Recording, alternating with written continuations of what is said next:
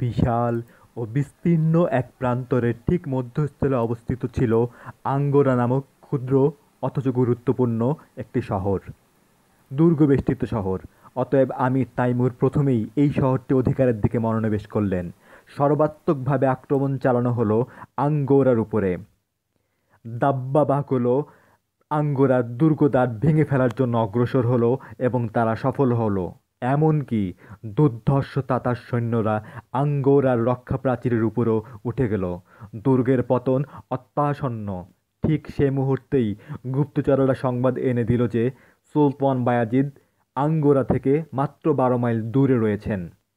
আমির তাইমুর এ সংবাদ পাওয়া মাত্রই দুর্গ অবরোধ ত্যাগ করলেন। আমির তাইমুর বিকেলের দিকেই দুর্গ অবরোধ পরিত্যাগ করেছিলেন। বারো মাইল পথ পাড়ি দেওয়ার জন্য একটি সৈন্যদলের পক্ষে সর্বোচ্চ তিন থেকে চার ঘণ্টা সময়ের প্রয়োজন। কিন্তু সুলতান বায়াজিদ আমির তাইমুরকে মোটেই পাত্তা দিচ্ছেন না, এটি বোঝানোর জন্যে তিনি শিকার ও হই হুল্লোড় করতে করতে আসছিলেন। অতএব তিন চার ঘণ্টা কেন? ওই দিনের মাঝেও তিনি আঙ্গোরার ময়দানে উপস্থিত হতে পারলেন না। তিনি পরদিন ভোরবেলাতেই কেবলমাত্র আঙ্গোরার ময়দানে উপস্থিত হন। সুলতান বায়াজিদ আঙ্গোরার প্রান্তরে উপস্থিত হয়েই বুঝতে পারেন যে তিনি আমির তাইমুরের কাছে যুদ্ধের আগেই হেরে বসে আছেন। ইলদিরিম বা বিদ্যুৎ নামে খ্যাত আটচল্লিশ বছর বয়স্ক সুলতান বায়াজিদের চাইতেও ছেষট্টি বছর বয়স্ক বৃদ্ধ আমির তাইমুর অধিক ক্ষিপ্রগতির পরিচয় দিলেন। তিনি বায়াজিদ আসতে আসতেই এই সময়ের মাঝেই চারটি কাজ করে ফেললেন। এক কিজিল ইরমার্ক নদীর গতিপথ পরিবর্তন করে দিয়ে নিজ শিবিরের দিকে নদী প্রবাহিত করা। দুই, তুর্কি বাহিনীর পানির উৎস হতে পারত এমন একটিমাত্র ঝর্ণাকে ধ্বংস করে দিয়ে তার পানিতে বিষ মিশিয়ে তা পানের অযোগ্য করে তোলা। তিন, পথে তুর্কি বাহিনী যত খাবার পেতে পারত, ফসল পেতে পারত, সমস্ত ফসল কেটে নিয়ে এসে নিজ সৈন্যবাহিনীর খাদ্য সরবরাহের পথ নিশ্চিন্ত করা। এবং চার বায়াজিদের পক্ষে এমন একটি এমন একটি স্থান নিতে বাধ্য করা, যে স্থান নিলে বায়াজিদ যুদ্ধে কৌশলগতভাবে কোনো সুবিধাই করতে পারবেন না। অর্থাৎ যুদ্ধের আগেই রণকুশলী আমির তাইমুরের কাছে সুলতান বায়াজিদ হেরে বসে গেলেন। সেই দিনই আমির তাইমুর তার সৈন্যবিন্যাস সম্পূর্ণ করে ফেললেন। ডান দিকের বাহিনীর অধিনায়কত্ব দেওয়া হলো শাহজাদা শাহরুখকে। বাম দিকের বাহিনীর অধিনায়কত্ব দেওয়া হলো। কোনো যুদ্ধে যিনি এখন পর্যন্ত হারেননি, সেই অপরাজেয় সেনাপতি নূর উদ্দিনকে মাঝের বাহিনীর অগ্রবর্তী বাহিনীর অধিনায়কত্ব অর্পণ করা হলো শাহজাদা মিরান শাহ এবং খালিল সুলতানকে। এবং মাঝের বাহিনীর অধিনায়কত্ব দেওয়া হলো আমির তাইমুরের প্রিয় এবং অপরাজেয় পৌত্র পীর মুহাম্মদকে। এবং আমির তাইমুর থাকলেন সবার পেছনে। সেদিন রাত্রিটি আমির তাইমুর অত্যন্ত সতর্ক অবস্থায় কাটালেন। তিনি তার সৈন্যবাহিনীকে জেগে থাকতে নির্দেশ দিলেন তারা পাহারা দিয়ে কাটালো, পুরো শিবির আলো জ্বালিয়ে আলোকিত করে রাখা হলো, যে কোনো আক্রমণের আশঙ্কায় তার সৈন্যবাহিনীকে প্রস্তুত রাখা হলো। আমির তাইমুর তার শিবিরে, তার তাঁবুতে অবস্থিত সাদা গালিচার উপরে কিছুক্ষণ ঘুমানোর চেষ্টা করেছিলেন, সেটিও তিনি পারলেন না। তিনি উঠে গেলেন এবং একটি ইতিহাসের বই নিয়ে রাতটি পার করে দিলেন। দিকে সুলতান বায়াজিদ তার নিশ্চিত বিজয় কল্পনা করে শিবিরে ভোজসভার আয়োজন করলেন। ভোজসভা হই হুল্লোর চিৎকার চেঁচামেচির ভিতর পুরো রাত্রিটি পার করে দেওয়া হলো, যেন তারা নিশ্চিন্ত জিতে গিয়েছে, যদিও তাদের পানীয়ের কোনো ব্যবস্থাও তখন পর্যন্ত হয়নি। এভাবেই রাতটি কাবার করে দিল সুলতান বায়াজিদ।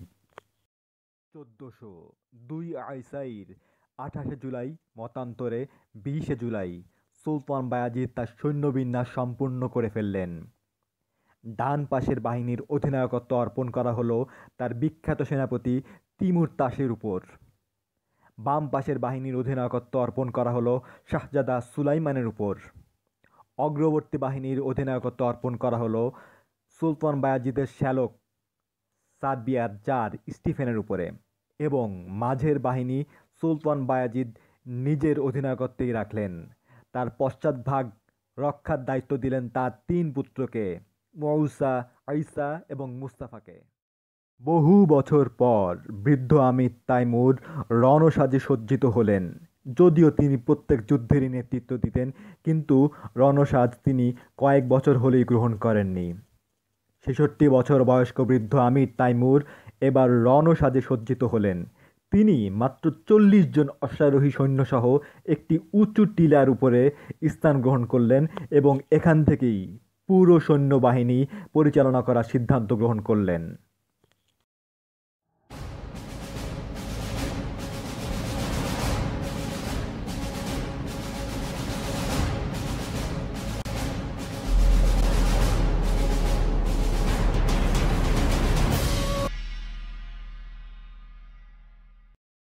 আমির তাইমুরের বাহিনীর মূল শক্তি ছিল তার পৌত্র পীর মুহাম্মাদের নেতৃত্বাধীন বাহিনী। এখানে ছিল আশি শতাংশ সৈন্য। এই বাহিনীর সর্বাগ্রে ছিল আটষট্টিটি বর্মাবৃত্ত রণহস্তি। এদের পেছনে ছিল অশ্বারোহী বাহিনী এবং সবার পেছনে ছিল পদাতিক বাহিনী। চোদ্দশো দুই আইসাইড আঠাশে জুলাই সকাল দশটার কড়া রোদের মাঝে সুলতান বায়াজিদের নির্দেশে তুর্কিরা রণডঙ্কা এবং রণতুর্য বাজিয়ে ভীম বেগে আক্রমণ করতে এগিয়ে এলো। প্রথমেই আক্রমণের জন্য এগিয়ে এলো সুলতান বায়াজিদের টান বাহিনীর অধিনায়ক শাহজাদা সুলাইমান, তার বিখ্যাত আনাতোলিয়ার অশ্বারোহী বাহিনী নিয়ে শাহজাদা শাহরুখের বাহিনীর উপর ঝাঁপিয়ে পড়ার চেষ্টা করলেন। কিন্তু শাহজাদা শাহরুখ শাহজাদা সুলাইমানের বাহিনীর উপর এমন তীব্রভাবে অগ্নিগোলক, অগ্নিবাণ এবং তৈলচিক্ত অগ্নিগোলক নিক্ষেপ করতে লাগলেন যে, আনাতোলিয়া সুবিখ্যাত অশ্বারোহী বাহিনী নিয়ে শাহজাদা সুলাইমান এক কদম অগ্রসর হতে পারলেন না। বরঞ্চ এই দুলি ধোয়া এবং আগুনের অন্তরালে শয়ে শয়ে হাজারে হাজারে তুর্কি অশ্বারোহীরা আহত, নিহত ও অদৃশ্য হয়ে যেতে লাগল। শাহজাদা সুলাইমানের যখন এই করুণ অবস্থা, ঠিক তখনই তাইমুরের অপরাজেয় সেনাপতি নূর উদ্দিন তার বাহিনী নিয়ে তীব্রভাবে আক্রমণ করে বসলেন শাহজাদা সুলাইমানকে। ফলে শাহজাদা সুলাইমানের গোটা বাহিনী পরাজিত বিধ্বস্ত হলো অধিকাংশ নিহত হলো, আর যারা ছিল তারা সহ শাহজাদা সুলাইমান পলায়ন করলেন যুদ্ধক্ষেত্র থেকে। কেবলমাত্র শাহজাদা সুলাইমানি নয়, বরঞ্চ ইউরোপের সর্বশ্রেষ্ঠ অশ্বারোহী হিসাবে খ্যাতিমান কুড়ি হাজার বর্মাবৃত্ত সার্ব অশ্বারোহী বাহিনী তারাও পর্যন্ত হটে গেল যার স্টিফেনের নেতৃত্বে। শাহজাদা মিরান শাহ তীব্র আক্রমণের মুখে। এমতা অবস্থায় চল্লিশ হাজার তাতার সৈন্য, যাদেরকে সুলতান বায়াজিদ বিভিন্ন স্থান থেকে এনে তার বাহিনীতে নিযুক্ত করেছিলেন, তারা সুলতান বায়াজিদের পক্ষ ত্যাগ করে আমির তাইমুরের পক্ষে যোগ দেন। এমত অবস্থায় শাহজাদা মিরান শাহ এবং শাহরুখের তীব্র আক্রমণে পিছু হটে যান সুলতান বায়াজিদের সেরা সেনাপতি তিমুর তাস। তুর্কিদের অবস্থা যখন করুন ঠিক সেই মুহূর্তে মধ্যবর্তী বাহিনী নিয়ে সুলতান বায়াজিদ এগিয়ে আসেন সেনাপতি তিমুর তাসের সাহায্যার্থে এবং তিনি দুই শাহজাদা শাহরুখ এবং মিরান শাহর আক্রমণ প্রতিহত করেন। এমত অবস্থায় শাহজাদা পীর মুহাম্মদ দ্রুত ছুটে এলেন তার দাদার কাছে। তার ঘোড়ার সামনে নতজানু হয়ে অনুমতি প্রার্থনা করলেন তার দুই চাচার সাহায্যার্থে ছুটে যাওয়ার জন্যে এবং সুলতান বায়াজিদের উপর ঝাঁপিয়ে পড়ার জন্যে।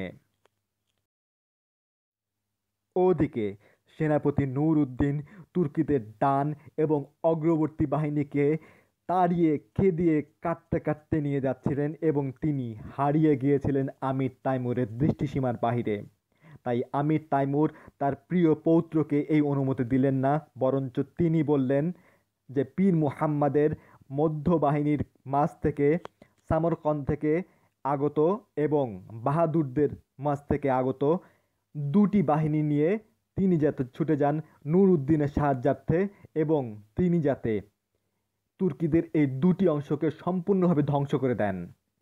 দাদার কথা শোনা মাত্রই পীর মুহাম্মদ তার রক্ত পতাকা উত্তোলন করে ছুটে গেলেন সেনাপতি নূর উদ্দিনের সাহায্যার্থে। অপরাজেয় সেনাপতি নূর উদ্দিন এবং দুর্দর্শ শাহজাদা পীর মুহাম্মাদের তীব্র আক্রমণে তুর্কি বাহিনীর ডান এবং অগ্রবর্তী বাহিনী ধ্বংস হয়ে গেল। ইউরোপে যেই সার্বিয়ান অশ্বারোহী বাহিনীর এত নাম ডাক ছিল, যাদের চোখ ছাড়া আর কিছুই দেখা যেত না, সবই বর্মে ঢাকা থাকতো, সেই বাহিনী নিশ্চিহ্ন হয়ে গেল দুর্ধর্ষ পীর মুহাম্মাদের আক্রমণের মুখে। উসমানীদের বিশাল অংশেই পরাজিত হয়ে পলায়ন করল, নিশ্চিহ্ন হয়ে গেল অনেকেই। এবারে এই দুজন মিলে ঘেরাও করে ফেললেন সুলতান বায়াজিদের নেতৃত্বাধীন মূল উসমানলি বাহিনীকে এবং এই ঘেরাওয়েতে যোগ দিলেন অপর তিন শাহজাদা, খালিল সুলতান, মিরান শাহ এবং শাহরুখ দুর্ধর্ষ পীর মুহাম্মদ সুলতান বায়াজিদ তার পশ্চাৎদেশ রক্ষার জন্যে তার তিন শাহজাদার নেতৃত্বে যে বাহিনী রেখেছিলেন, তা তীব্রভাবে আক্রমণ করে নিশ্চিহ্ন করে দিলেন। অবস্থা এতই গুরুতর হলো যে তিন শাহজাদেই পলায়ন করলেন যুদ্ধক্ষেত্র ছেড়ে, তার বাবাকে ছেড়ে। সুলতান বায়াজিদ সম্পূর্ণ ঘেরোয়ের মাঝে পড়ে গেলেন, কিন্তু এই তীব্র ও হাতাহাতি যুদ্ধে দুর্ধর্ষ শাহজাদা পীর মুহাম্মদ আহত হলেন মারাত্মকভাবে। যুদ্ধের ঠিক এই অবস্থায় ছেষট্টি বছর বয়স্ক দিগ্বিজয়ী আমির তাইমুর, তিনি স্বয়ং মধ্যভাগ পরিচালনার দায়িত্ব গ্রহণ করে এগিয়ে এলেন। তিনি জোর করে শাহজাদা পীর মুহাম্মদকে বিশ্রাম নিতে পাঠিয়ে দিলেন। সুলতান বায়াজিদ তখনও তার মধ্যবর্তী বাহিনী নিয়ে, মধ্যবর্তী অটুট বাহিনী নিয়ে অটুট অবস্থায় টিকেছিলেন এই বিশাল ঘেরাওয়ের মাঝেও। আমির তাইমুর তুর্কিদের এই বুজ্জ ছিন্নভিন্ন করার উদ্দেশ্যে রণহস্তি আক্রমণের নির্দেশ দিলেন। ভয়ঙ্কর ও বিশাল আকায় হাতির দল ধেয়ে গেল চতুর্পাশ থেকে এবং তুর্কিদের বাহুকে ছিন্ন ভিন্ন করে দিল, ছত্রভঙ্গ হয়ে গেল তুর্কিরা। বায়াজিৎ কোনো মতো পলায়ন করলেন এবং আশ্রয় নিলেন পার্শ্ববর্তী একটি ছোট্ট টিলাতে। তাকে ঘিরে রইল তার ইয়েনিচেরি বাহিনী। আমির তাইমুর, এবারে সুলতান বায়াজিৎকে অবরোধ করে রাখা সৈনিকদের বেদ ক্রমশ কমিয়ে আনার নির্দেশ দিলেন। তার নির্দেশে তাতার সৈন্যরা চতুর্দিক থেকে বের কমিয়ে আনতে লাগল। সুলতান বায়াজিদ যে ইয়েনিচারি সৈন্যদলকে নিয়ে এত গর্ব করতেন, তাতারদের সম্মুখে তারা শিশু বলে প্রতিপন্ন হলো, কারণ তাতারদের সামনে কোনো ইয়েনিচারি দাঁড়াতে পারল না। বাধ্য হয়ে সুলতান বায়াজিদ যুদ্ধকুঠার হাতে স্বয়ং একজন সাধারণ সৈনিকের মতোই যুদ্ধে নেমে পড়লেন এবং তাতারদের প্রতিরোধ করতে লাগলেন। কিন্তু অবস্থা ক্রমশ শোচনীয় হয়ে আসছিল। তিনি অতুলনীয় শৌর্যবীর্যের পরিচয় দিচ্ছিলেন, কিন্তু তিনি বুঝতে পারছিলেন তাতারদের সামনে কেউই টিকতে পারবে না। তিনি সময় থাকতেই প্রাণ নিয়ে পলায়নের সিদ্ধান্ত নিলেন। তিনি হুকুম করলেন তার ইয়েনিচারীদের কোনো মতো তাতারদের এই কাতার ভেদ করে তাকে এগুতেই হবে। তার নির্দেশে ইয়েনিচারীরা শেষ চেষ্টা করল। তিনিও চেষ্টা করলেন এবং তাতারদের কাতার কেটে বেরিয়ে যেতে সফল হলেন সুলতান বায়াজিদ। যুদ্ধকুঠার হাতে সারাটি বিকেল লড়াই করার পর, তীব্রভাবে লড়াই করার পর, অতুলনীয় বীরত্ব প্রদর্শনের পর সুলতান বায়াজিদ তাতারদের কাতার ভেদ করে বেরিয়ে যেতে সফল হলেন।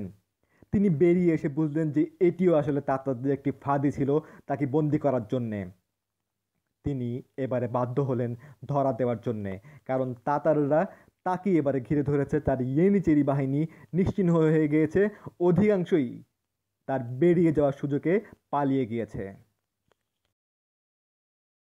সুলতান বায়াজিদ তাও শেষ চেষ্টা করলেন পালিয়ে যাওয়ার জন্যে। কিন্তু তার ঘোড়া হঠাৎ একটি পাথরে হোঁচট খাওয়ার ফলে তিনি পড়ে যান এবং তিনি পড়ে যাওয়া মাত্রই তাকে যে দুর্ধর্ষ ক্ষিপ্রগতি সম্পন্ন তাতার সৈন্যরা ধাওয়া করছিল, তাদের ঘেরাওয়ের মাঝে পড়ে যান। সাধারণ সৈনিকদের কাছে সন্ধ্যার সময় বন্দী হন সুলতান বায়াজিদ।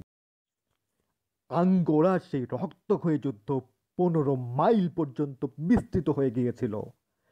যুদ্ধ শেষে দেখা গেল, সেই বিশাল প্রান্তরে সার্ব, গ্রিক এবং ওয়ালাচিয়ান যারা সুলতান বায়াজিদকে সাহায্য করার জন্য এসেছিল, তাদের লাশ পড়ে আছে। লাশ পড়ে আছে হাজারে হাজারে তুর্কিদের।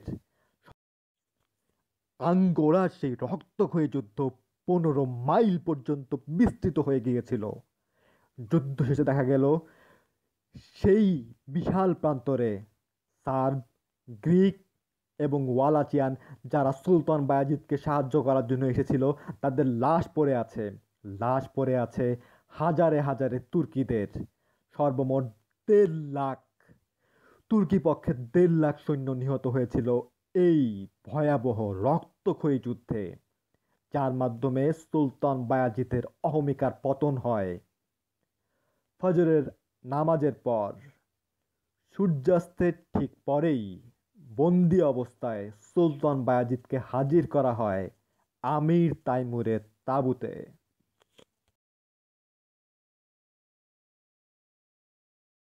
Please like, subscribe our channel and press the bell icon. আমাদের চ্যানেলটি সাবস্ক্রাইব করুন এবং ঘণ্টা বাজিয়ে দিন।